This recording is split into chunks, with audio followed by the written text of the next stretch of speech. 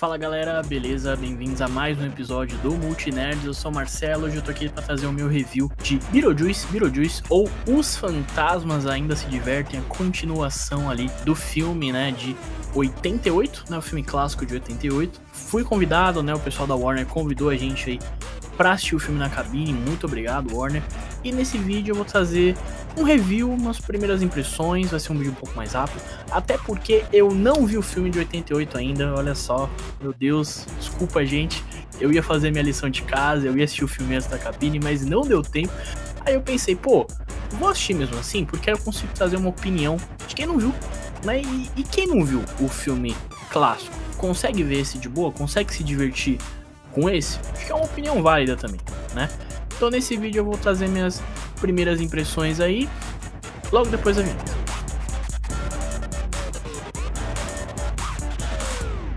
Mas ó, fazendo um disclaimer, eu vou assistir o filme clássico, tá? Daqui a pouquinho eu vou assistir o filme. E aí, quem sabe, a gente traz um outro vídeo aqui, uma outra análise. Talvez conversando com o Andres, batendo papo com mais alguém aqui, fazendo a comparação entre os filmes. Mas ó, vamos lá resposta que talvez a pergunta, né, que todo mundo se faça é: o filme funciona para quem não viu o clássico? Eu preciso, Marcelo, eu preciso ver o clássico. Antes de assistir esse, olha, eu vou dizer que não precisa. Não precisa. E eu não tô dizendo para não ver, tá? Veja, porque já me falaram que é muito bom e eu creio que seja muito bom mesmo. Mas eu digo assim, você precisa ter visto para entender o filme, para pegar a vibe do filme. Cara, eu acho que não. Eu acho que não que você vê um trailerzinho ali, entendeu? Desse filme novo, você já, já, já vai. Você já entra no clima, você já vai sabendo o que esperar, sabe? Porque, cara, é um filme completamente pirado, maluco e divertido. Cara, é um dos filmes mais divertidos, assim, é, que eu assisti nos últimos anos. É, eu acho que. Começando. Ó, esse vídeo não vai ter spoilers, tá? Só, só dando mais esse aviso também, mais um review mesmo mais curto. Mas assim, fala um pouco da parte técnica. Cara, que filme estiloso, né? É um filme do Tim Burton, cara. A gente sabe que o Tim Burton, ele tem o molho, ele tem aquele negócio, ele sabe fazer é, as maluquices dele ali, que são sempre muito bem feitas, tá? É, então, tipo assim, ele usa muito é, aqueles efeitos práticos, né? Ele usa muito uns bonecões ali que você vê claramente são os bonecões. Tem até um momento que tem, tem cenas que são de CGI, mas, cara, é um, é um CGI muito caricato, né? Uma parada diferente, é uma parada que ele não tá tentando emular a realidade, ele não tá tentando fazer o um negócio mais foda e tal. Ele não tá fazendo igual o diretor lá de The Flash, que meteu aquele monte de bonecão feio pra caralho lá, e depois falou que era estilo, ah, é, é, é artístico, é, é, a minha escolha. A escolha artística é o caramba, é só feio mesmo, é só CGI mal feito mesmo, meu amigo. Assumam os seus B.O.s.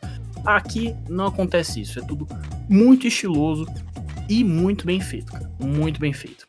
Cara, falando de parte técnica, a gente não pode deixar de falar da trilha sonora, que é do Danny Elfman, né? Óbvio que é ser dele, o cara sabe fazer trilha sonora, ainda mais pra esse tipo de filme, né? Ele e o Tim Burton ali são uma dupla que você não pode separar, né? Que eles funcionam muito bem juntos.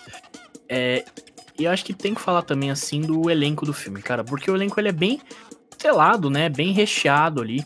E, cara, todo mundo tá muito bem, dá pra ver que todo mundo tá se divertindo horrores gravando esse filme, sabe? Porque, é, cara, é, é isso. É, essa diversão, né, que a gente sente assistindo o filme, você vê que os atores estavam sentindo ali nos bastidores também. Eu quero ver, não sei se já saiu, quero ver um vídeo só com erros de gravação, bastidores do, do Beetlejuice aí. Vixe, é a terceira vez que eu falo o nome dele no vídeo.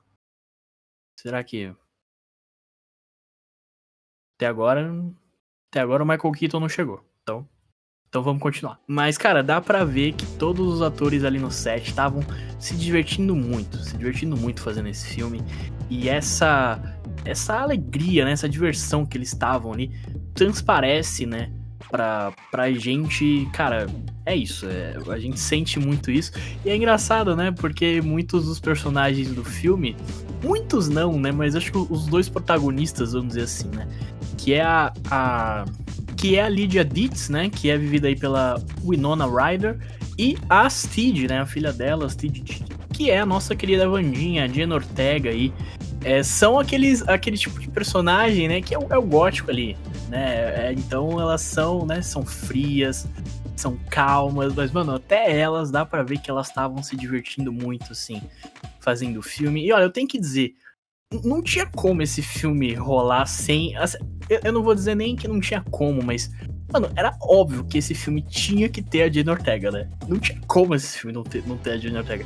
Não é nem só porque ela já tinha tra trabalhado com o Tim Burton lá no Vandinha, mas, mano, ela é, ela é a gótica, entendeu? Ela é, ela é isso, ela é a gótica ali de Hollywood, entendeu? Aquela, aquele estereótipo ali. Então, mano, ela tinha que estar tá nesse filme. Não, não tinha como ela não estar tá nesse filme. E eu acho que ela tá, ela tá muito bem ali, cara. Acho que tem umas cenas muito engraçadas ali, com toda a parte do elenco. Michael Keaton também tá bem legal. Acho que ele nem aparece tanto, né? Nem aparece tanto assim, tipo, com certeza as meninas aparecem mais. Mas quando ele aparece também, ele rouba a cena. Tem a Mônica Bellucci, que tem um papel um pouco menor, mas, cara, ela tá. Ela aparece assim, ela rouba a cena também, ela tá muito foda.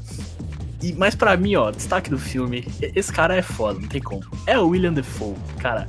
O William Defoe, todo filme que esse cara faz, ele arrebenta, cara. Ele arrebenta, não tem como. E aqui ele tá fazendo um, um morto ali, né, no, no pós-vida ali, que é como ele é um policial, mas na verdade ele não é um policial, ele é um ator fazendo um policial. E ele tem que manter o. Putz, eu esqueci o que ele. Eu esqueci a frase que ele fala o tempo todo. Manter a, a, a autenticidade tá ligado? Ele tem a frase de efeito lá, mantenha a autenticidade ator dele. E, cara, ele é um canastrão, assim, muito bom, cara. William Defoe é, é sensacional. Mas eu acho que, resumindo, cara, é isso, né? Como eu falei, eu acho que é um filme que alguém olhando de fora alguma cena recortada, sem contexto, pode falar, nossa, que coisa tosca. Mas, mais uma vez, é um tosco que funciona 100%. 100% é um tosco do Tim Burton ali, então é super estiloso, é acho que dá um banho assim em muitos filmes, né, hoje em dia que tem muito CGI, né, que tem que ter CGI, tem que ser perfeito, tem que ser tal. E às vezes é muito mal feito, né? E esse filme aqui ele mostra, ele, ele traz essa vibe que acho que talvez Hollywood tenha perdido um pouco, né? Essa parada de você usar mesmo efeitos práticos, usar os bonecão e saber usar. Né? Saber usar. O Tim Burton sabe, então eu acho que é isso, cara.